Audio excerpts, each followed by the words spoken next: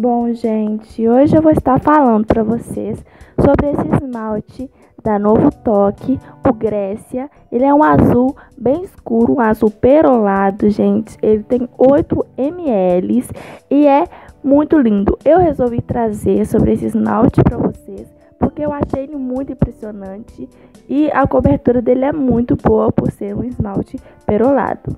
Bom, gente, ele vem com uma nova tecnologia do pincel, que o pincel dele é flat. O pincel dele é muito melhor para aplicação, ainda mais para quem não sabe aplicar direito na mão esquerda ou na mão direita para quem é canhoto.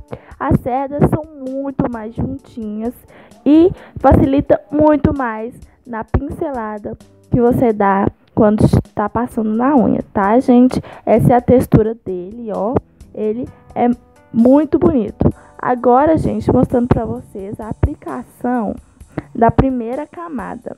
Olha só como o pincel flat facilita muito mais na aplicação, gente.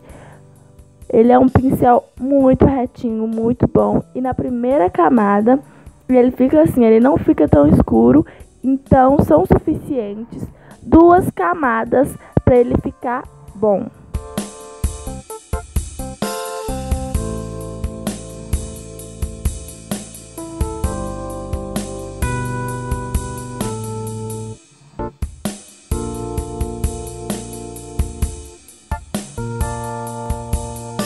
Agora, pessoal, na segunda camada é que vem a mágica que mostra. Olha, ele fica muito escuro. Gente, da segunda camada já tá perfeito, tá? Não precisa mais que isso. Da primeira também não fica tão ruim, ó. Não fica manchado como a maioria dos esmaltes perolados. Então, assim, eu achei esse esmalte muito bom, uma textura muito boa e com a cobertura também perfeita. Olha só como ele fica lindo, gente. Agora mostrando aí mais do alto para vocês estarem vendo bem como que eu pincelo na unha e como que é fácil e bem mais confortável fazer com pincel flat.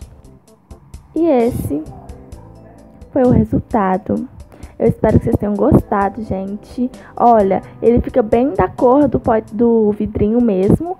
E se vocês gostaram, gente, já deixe o seu like, tá bom? É, vá lá no meu Instagram, que eu postei foto lá.